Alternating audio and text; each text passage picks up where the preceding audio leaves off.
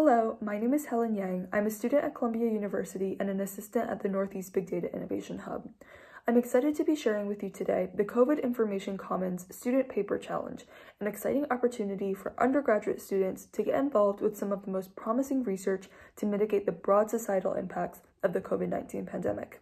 For a bit of background, the COVID Information Commons, or KIC, is an open website developed by the Northeast Big Data Innovation Hub, along with the other regional big data hubs, to help facilitate knowledge sharing and collaboration across COVID 19 research efforts. In particular, the over 900 rapid response research, or RAPID projects, and other COVID related projects that the U.S. National Science Foundation, or NSF, has funded to date.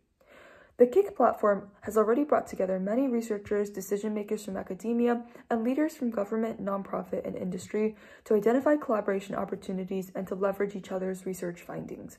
This challenge is a unique opportunity for you as an undergraduate student to join the scientific community and to learn about and contribute your own insights to the multidisciplinary and cutting edge research being conducted on the pandemic. In this video, I'll provide an overview of everything you need to get started to participate in the challenge. You can access the main webpage for this challenge from the homepage of the KIC website at covidinfocommons.net or by navigating to Opportunities and Resources and then KIC Student Paper Challenge from the menu. At the top of the page, you'll find a brief overview of the KIC and the challenge. Essentially, your task is to leverage the KIC resources to write a four to five page double-spaced paper on a topic related to COVID research of your choice. Winning papers will have the opportunity to be published on the KIC website and added to the Columbia University Academic Commons, an archive of scholarly work produced by Columbia students and affiliates. Winners will also have the opportunity to present their work at a future KIC community webinar. Below, you'll find two buttons linking to two participation forms, one for students and one for researchers or professionals working on issues related to COVID-19 who are interested in sharing their expertise as mentors or judges. By filling out the participation form, you'll be notified of any updates and new resources to help you develop your papers, including office hours with mentors.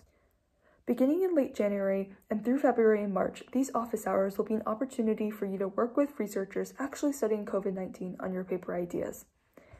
A few key dates are listed below the links to the participation forms.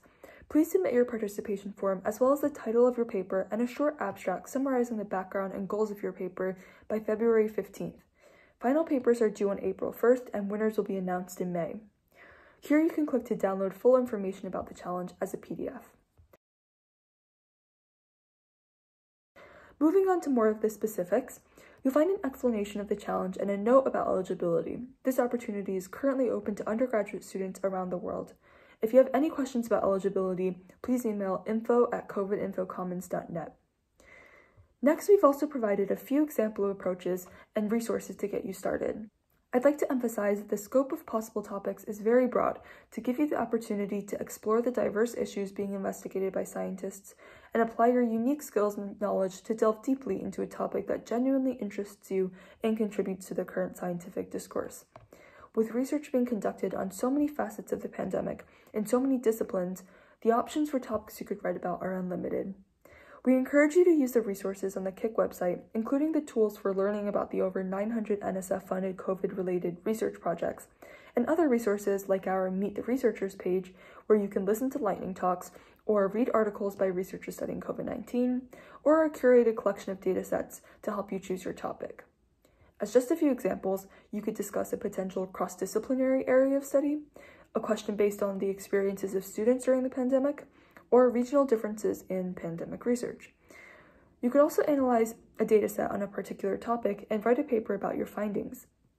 To explore the full collection of resources available on the KIC website, you can navigate to the pages under Opportunities and Resources in the menu. We've also recorded a video demonstrating in depth how to leverage the different KIC resources to develop your paper ideas. Regarding evaluation, your papers will be judged by a committee of researchers and other experts based on their demonstration of knowledge about COVID research and original insights that could further societal goals. The evaluation will be loosely based on the criteria the NSF uses to evaluate grant applications, which you can read a bit about here. Towards the end, we have a list of frequently asked questions, which range from formatting to eligibility to content. Please take a look through them and don't hesitate to email info at covidinfocommons.net if you have any other questions. Finally, we invite you to join the COVID Information Commons community to interact with researchers studying COVID 19 and keep up to date with research news and opportunities, which may help you in writing your paper. You can sign up for our newsletter, join the Slack channel, and register for our next community webinar, which will feature lightning talks by several researchers about their COVID related projects. With that, we really hope you'll take the COVID Information Commons Student Paper Challenge, join a community of scientists and leaders committed to supporting communities around the world during this unprecedented time, and help accelerate the future of COVID research.